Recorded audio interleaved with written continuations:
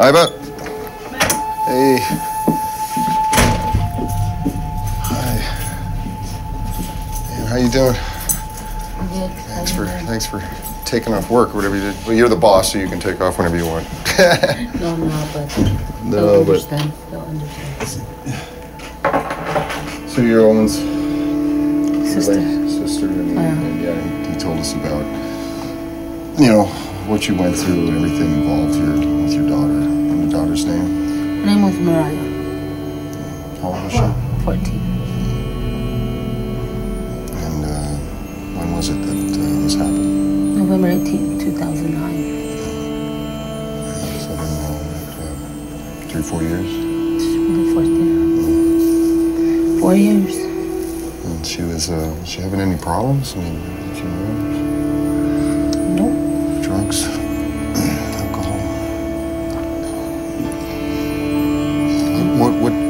imagine would have led to that? I mean, I'm sure you, you know, all you would do is think about that. I mean, what- is there a reason? You know, I'll never know. I'll never know the reason. And As her mother, I mean, imagine there had to be some. There's always going to be that question of why. But thinking about that year, 2009, um, March 1st, I lost my husband. And um, he died of liver failure. And he was pretty much more or less her father figure. And then in May, she had a really close friend. He was killed in a car accident. Is that her boyfriend? Her boyfriend, yeah, say that. And at the time, I, you know, I was dealing with losing my husband, and I couldn't, I couldn't, you know, come to terms with that. He left, and it, you know, after she passed away, then I began to think about it, think about it. What I was going through, she went through, but she wasn't strong enough.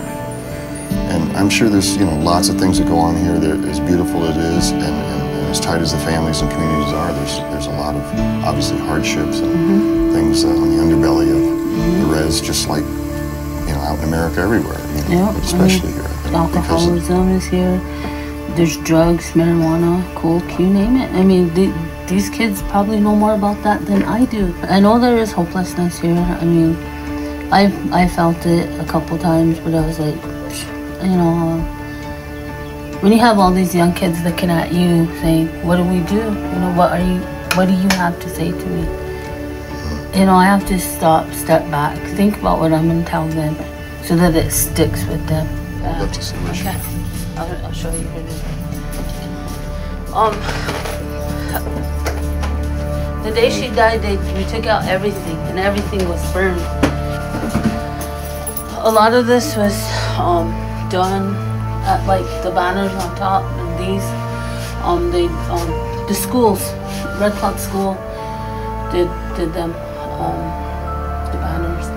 Well, a lot of these are personal pictures that we've had of her. This is her here, um, here. You can tell which one she is. Um, my aunt Jessie wrote this poem.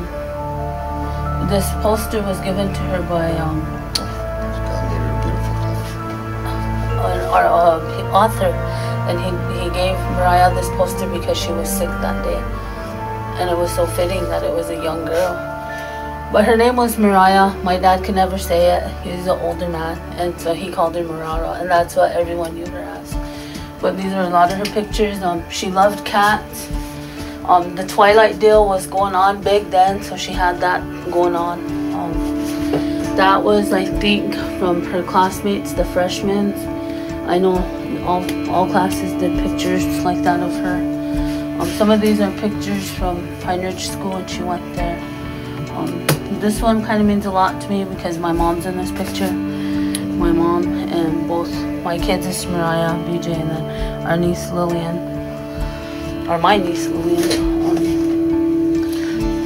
But Nice. When I see this picture and I see the joy and happiness, and that she's so young with her cat, that she Cat. loved the kitties, all the and imagine that, that could, a person like this could ever be unhappy. She um wrote things there underneath that, you know, we just put these up just so her friends could come here. And a lot of them do come here, and that's why the bench is here. Um, but that day, truthfully, when I found her, I came in while I was at Wolf Creek School teaching a beading class, and I came back. I picked up my cousin. We are coming on this other road, and she said, "Look, there's two bald eagles flying above your house." And I was like, "What?" And I looked up, and I was like, hmm. "So I came in, and her music was blaring, and I was like, "This girl had too late start. Why is she still here?" So I knocked on her door, but I could hear her cat meowing. So I was like, hmm. I was gonna walk away. I turned the knob, and it was locked. So I went to the front, and I grabbed a knife, and I popped her lock. That kitten came running. Her bed was probably right here. That kitten ran up like this and stopped, looked at me, then it went back and it sat right about there and looked in there in the closet. And I said, Mariah, and I looked and she was laying there face down. How did she it? She strangled herself. I picked her up and I hung on to her. Me, help me.